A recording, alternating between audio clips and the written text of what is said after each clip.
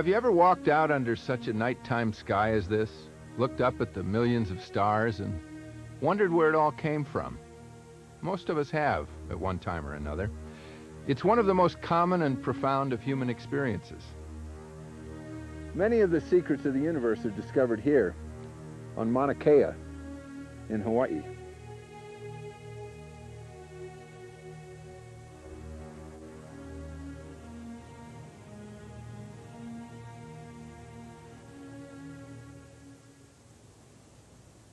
We like to know the reasons why things are the way they are, and generally, the explanation we like is the one that makes the most sense to us. The simpler it is, the more clarity the answer has, the more we like it. So far as we know, we're the only species that has developed a system for answering some of these questions. The human invention called science. In the thousands of years that this invention's been around, we've come to know the world around us much more intimately. Each day we see a little more clearly into the tiny world of the atom and the giant complexities of Earth's ecosystems. We're even beginning to unravel the miracle of life itself. But science has also taken our understanding far beyond the bounds of our small blue planet.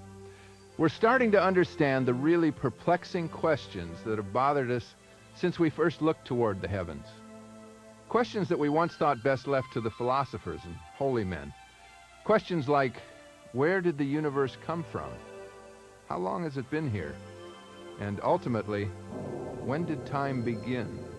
But the answers can be even more perplexing, for as we will see, time itself began with the universe. In Europe until the 16th century, people measured time with the fluid vagueness of the sundial or the hourglass. For an explanation of the ultimate beginning, they looked to the Old Testament and no further. God created the heaven and the earth, and that was that. To question otherwise was to be guilty of heresy.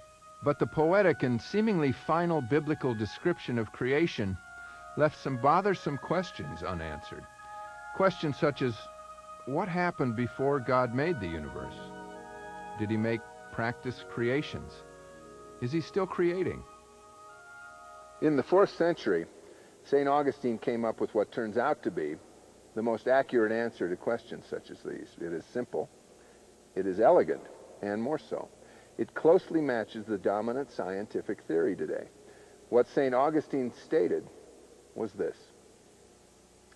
There was no time and no space before the beginning. Now, this is a concept that admittedly boggles the mind, but we have come to hold the view because it best explains what is observed in distant space, billions of light years away. The idea started with the work of astronomer Edwin Hubble. In the 1920s, Hubble began observing distant galaxies, trying to determine which way they were moving. At that time, many astronomers thought the universe was infinite and unchanging. In such a steady state universe, as they called it, galaxies should be moving randomly throughout the universe. So equal numbers of galaxies should be moving toward the Earth as away from it. Astonishingly, Hubble discovered that all the distant galaxies he observed were flying away from us and from each other. And the further out they were, the faster they seemed to be going. Before long, scientists combined Hubble's observations with the fascinating new theories of a young man named Albert Einstein, changing our view of the universe forever.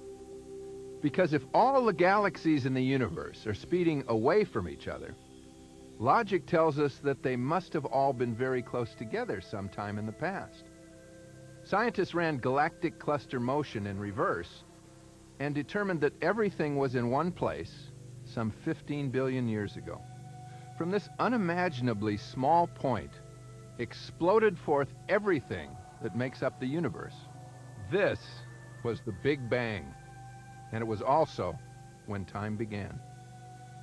Now, it is, admittedly, a difficult concept to imagine, time having a beginning.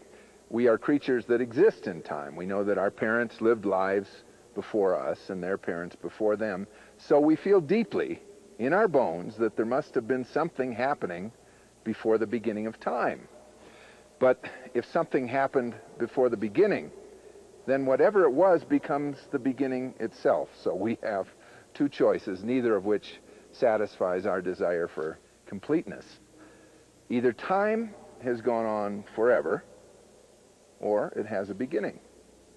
Scientists believe that time began with the universe because time and space are inseparably linked. The one cannot exist without the other. You see, the essence of time is change, and change is expressed as movement through space. You can see this by looking at a clock on the wall.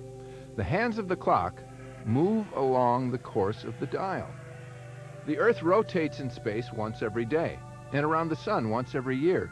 Movement through space is the essence of time. The movement may only be small, like the second hand on this watch, but it is still movement. When we talk about the Big Bang, we are talking about an instant when all the space of the universe was constricted to a size trillions upon trillions of times smaller than the nucleus of an atom. Without room for movement, there could be no time. When the universe was so small that it had no size, no dimension, time stood still. The exploding out created space and time and the universe we see today. But before we explain what most scientists feel happened at the beginning of the universe, we want to clear up some misunderstandings regarding the Big Bang.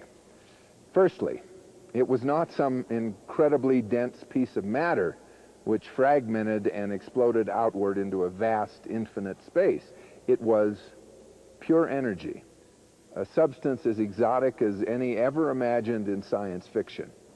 All matter, as we know it, came from this pure energy. You see, Einstein's famous equation for converting mass to energy, E equals mc squared, works both ways. We've used it to turn a very tiny bit of mass into a whole lot of energy, a force that can light up our cities or blow them apart.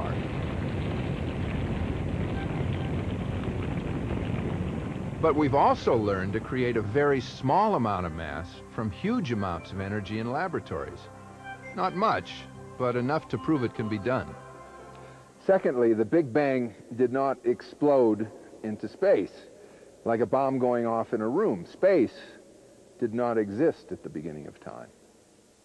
The idea of the Big Bang Theory is that uh, the whole universe began uh, at a certain instant about 15 billion years ago, and the universe itself expanded from an infinitesimal size. And what people often don't understand is there isn't an explosion where stuff is coming out into a wider space. It was space itself that was exploding and getting larger.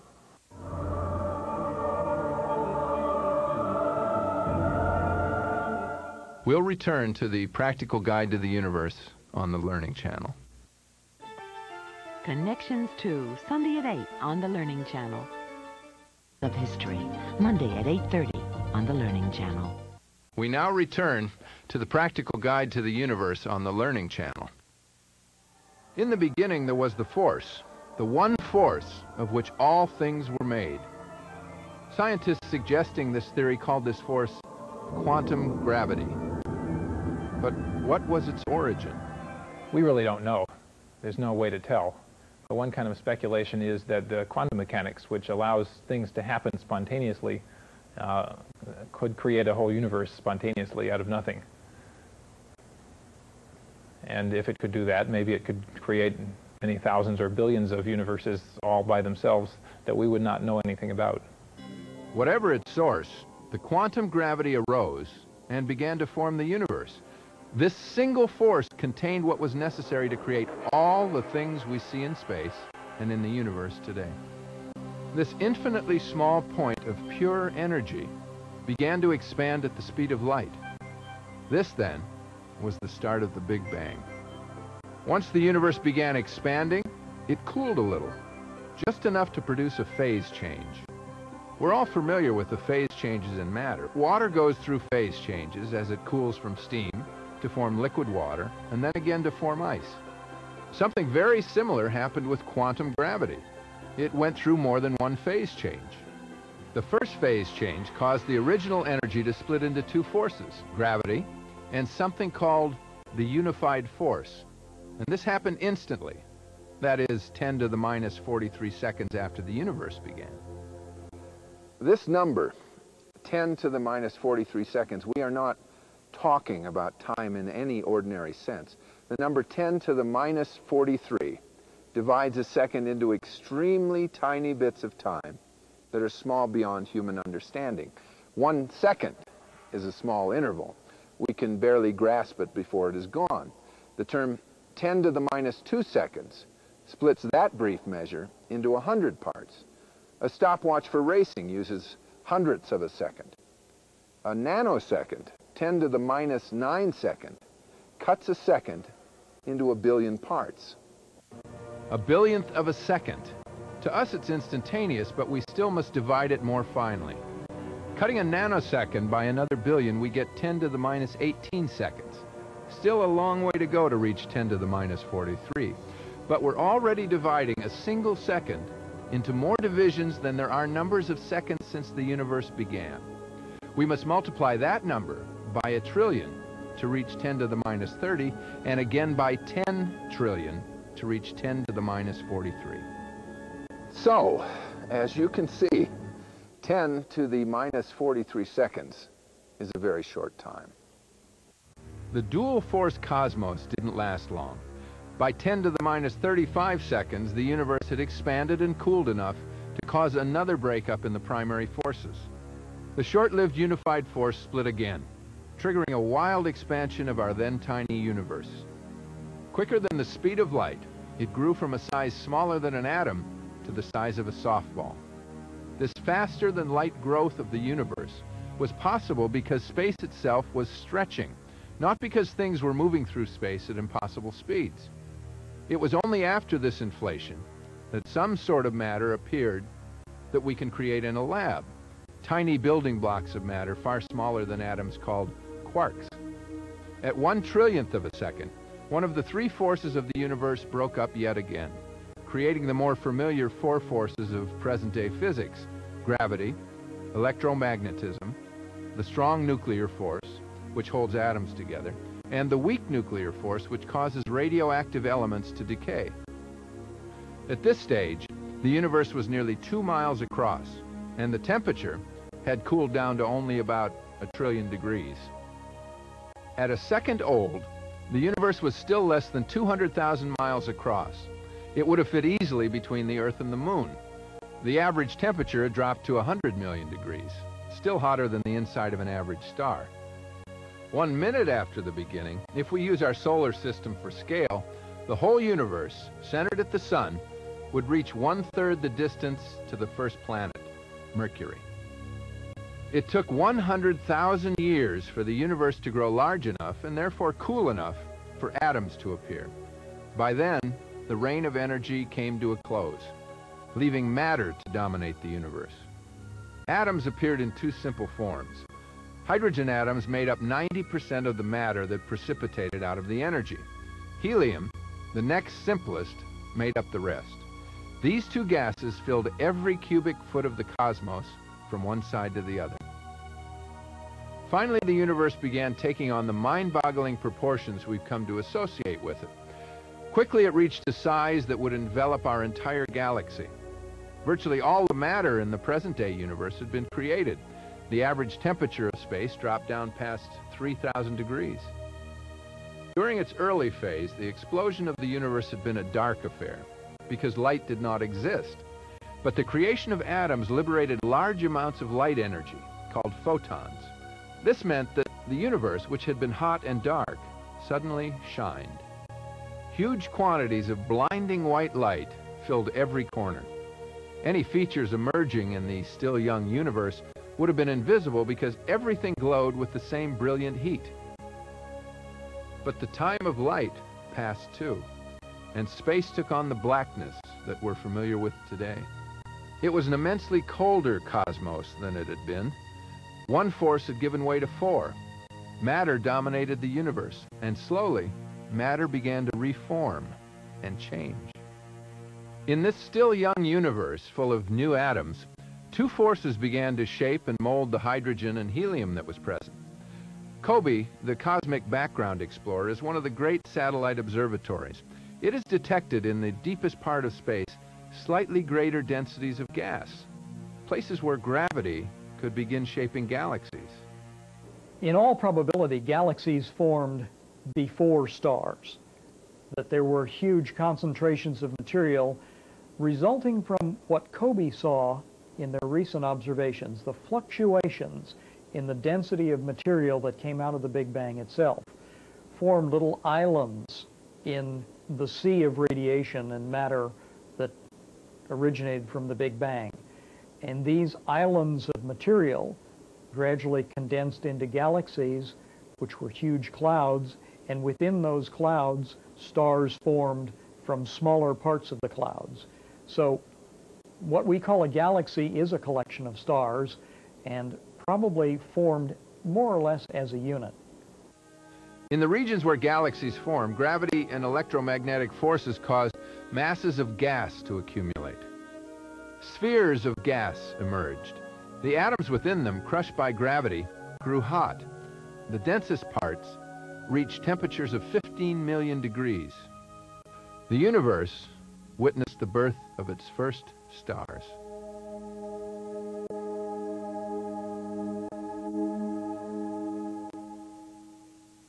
We'll return to the Practical Guide to the Universe on the Learning Channel.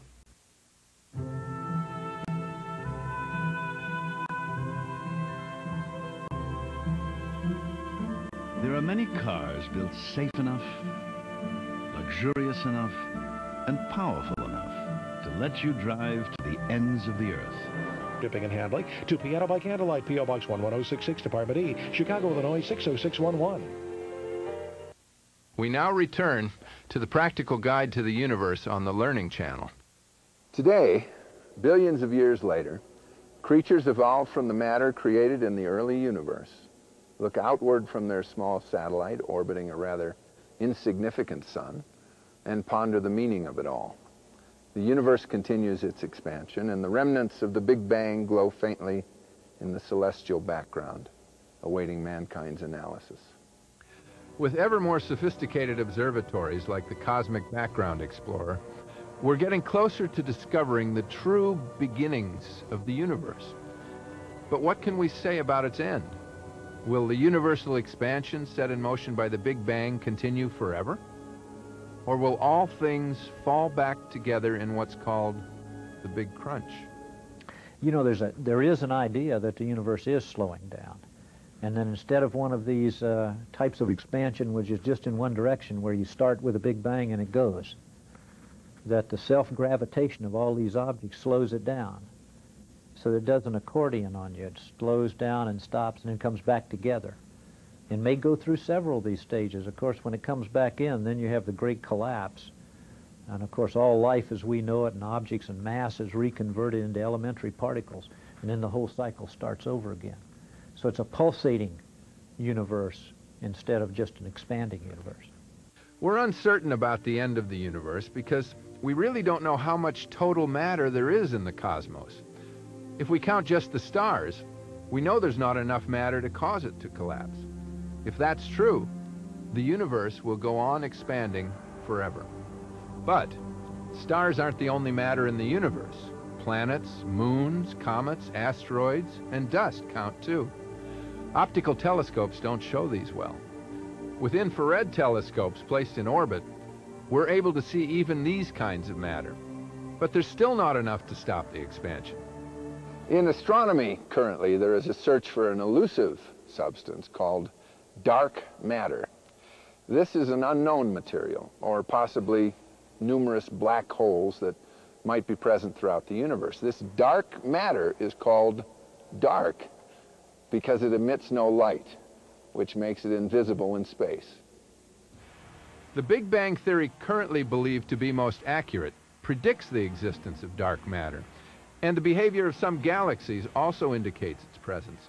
These galaxies spin so rapidly they should fly apart, but they're held together by a huge gravity field, which tells us that there's more matter in these galaxies than meets the eye. Dark matter? Possibly. If there's enough dark matter in the universe to slow, and then halt expansion, then all the galaxies in the universe will someday begin to drift back towards each other.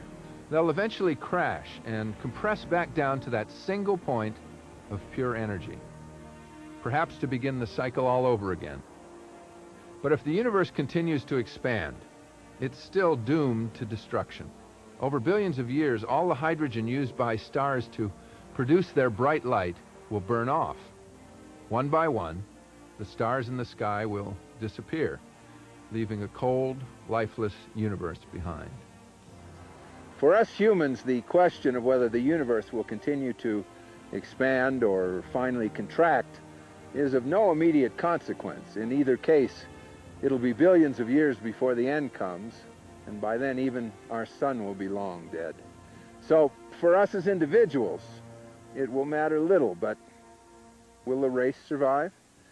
Can humans evolve and become so smart that we can outwit the end of the universe? Another question to ponder. Perhaps from the small beginnings of the universe, the greatest force has emerged just in the last 50,000 years. It is the force of the human mind and imagination.